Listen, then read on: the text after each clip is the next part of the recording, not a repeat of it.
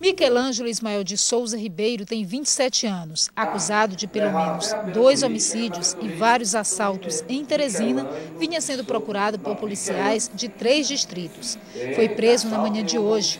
Fizemos um cerco nele ali nas proximidades da, do Mercado da Vermelha, próximo do Mercado da Vermelha, e lá teve uma perseguição, teve que é, parar o carro com bala, os pneus, com o acusado, a polícia encontrou esse revólver calibre 38 com seis munições. De acordo com o chefe de investigação do 10 Distrito Policial, um dos homicídios que teriam sido cometidos por Michelangelo causou grande comoção em Teresina.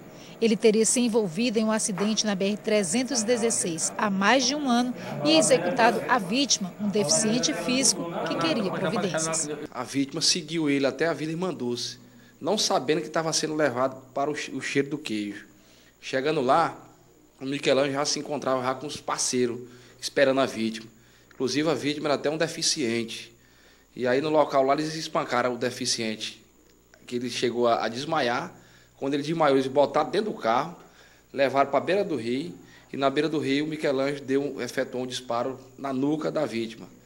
E aí, lá no local, eles tentaram jogar o carro da vítima dentro do rio, só que lá tinha uma vala, não deu para cair no, no, no rio.